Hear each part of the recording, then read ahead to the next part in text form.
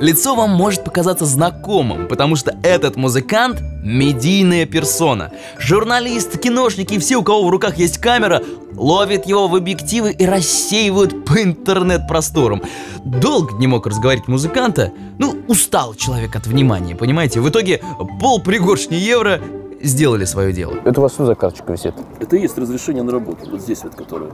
То есть то, что вы поете, вам нужно разрешение? Да, То есть если я сейчас вот здесь вот перед в са- в саду встану, начну петь, да. что произойдет? Я вызываю полицию. В общем, от таких разговоров я уже подумал, что мой эксперимент срывается. В центре города петь без разрешения вообще-то нельзя. Поговорив еще чуть-чуть, я понял, что шансы все же есть. Например, занять место музыкантов, которые еще не пришли. Но еще есть так называемые смотровые площадки. Вот там можно петь. Ага, получается, все-таки можно спеть хотя бы пару песен на публику.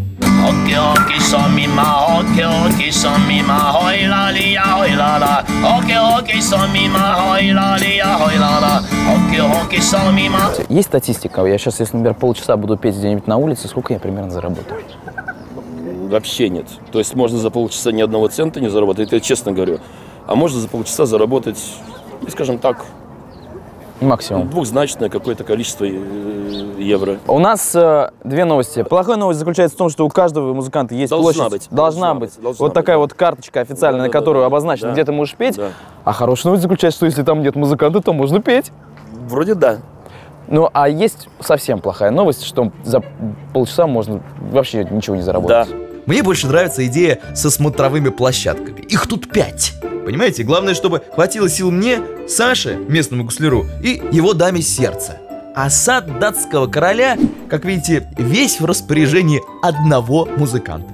И да, здесь есть еще интересные достопримечательности, судьба которых связана со звуками. Смотрите, вот эта башня называется Девичья. Ну, много разных версий происхождения этого названия. Кто-то говорит, что якобы туда помещали девушек легкого поведения, чтобы, ну, так сказать, на перевоспитание. Вот. А мне нравится другая легенда. А немецкого мастера, который строил эту башню, звали Мятхин.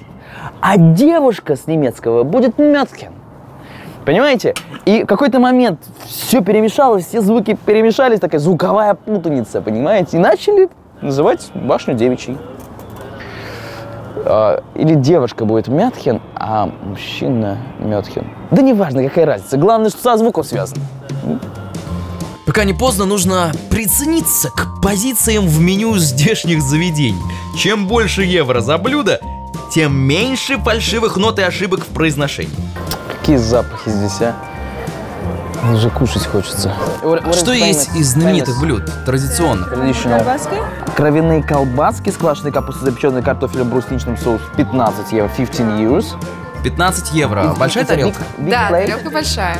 Мясо лося, А, мясо где? Да, тушеное мясо лося э, с грибами в темном пиве, с картофельным пюре и местными корнеплодами. 24. О, 24. Ну, в общем, минимум надо 15 евро.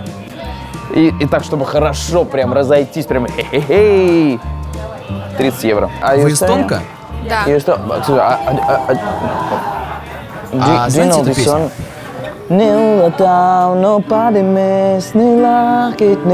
Нет.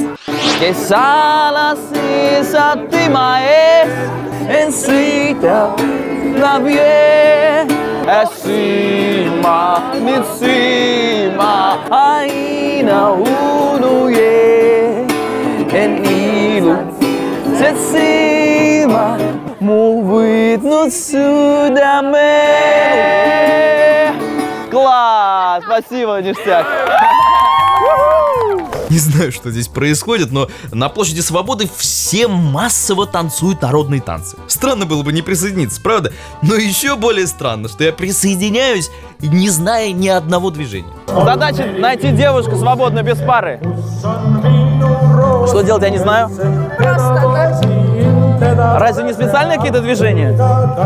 Оп! Тут главное никого не снести.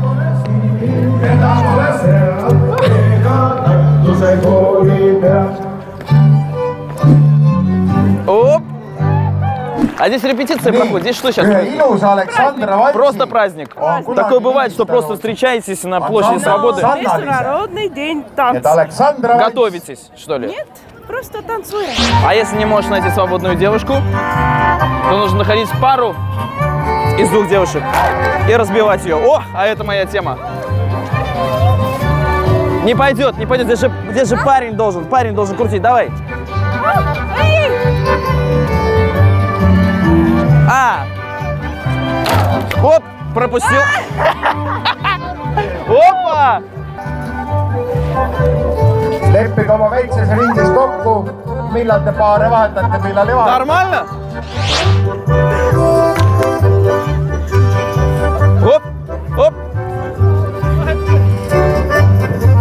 Не понимаю эти танцы. Я, я уже дважды остался один. Ничего не понятно. Меняются партнерами как хотят. Что хотят творят. А еще говорят, что здесь у них просто значит, праздник танца. Так это же все отрепетировано, ребята.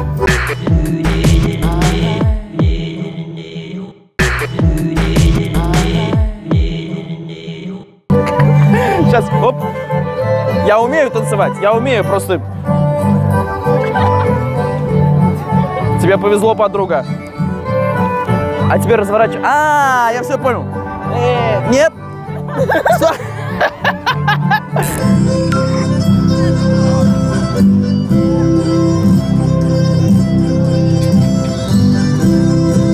Молодежь очень любит такие праздники. Почему? Казалось бы, да, национальные костюмы, танцы народные. Почему они любят? Потому что это уникальная возможность познакомиться с противоположным полом. Знаете, так, невзначай. Хопба, и партнершу выбрал. Хопба, и пригласил замуж. Хопба, и детей нарожал. Вот так все в Эстонии устроено. Нет, ну, конечно, ты можешь стоять, стесняться, просто смотреть.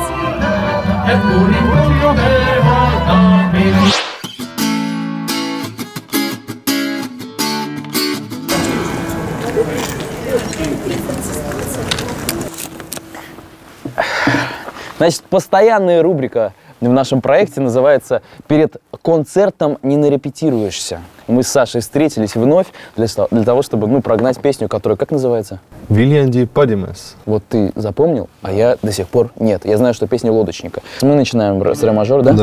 Да. Напомню, мы встретились с Сашей в подземке. Он играл на каннеле, эстонском народном инструменте. И такой шанс нельзя было упустить. Через случайное знакомство должна собраться целая команда. Так пообещал Александр. А у нас эксперимент. Помните, да? Даст ли эстонская песня на улице Таллина возможность заработать на ужин? А пока репетиция. Ты за сегодня сколько заработал? Если не секрет. Около 40-50 евро. 40-50 евро, серьезно? Это Да. за целый день? Но сегодня удачный день, это где-то часа за два. За два часа! Да. Да я думаю, что завтра тоже будет удачный день, друзья. Что мы все вместе сможем сделать ну, за два часа э, пе- 50 евро и э, поужинаем, так сказать. Нужно же, мы будем зарабатывать на ужин для всей нашей команды музыкальной. Так что завтра будут и звуки, завтра мы допишем, наконец, наш музыкальный трек, завтра исполним местную песню, чтобы заработать на ужин. Следите за нашим эстонским акустическим приключением. Может помахать туда. Да,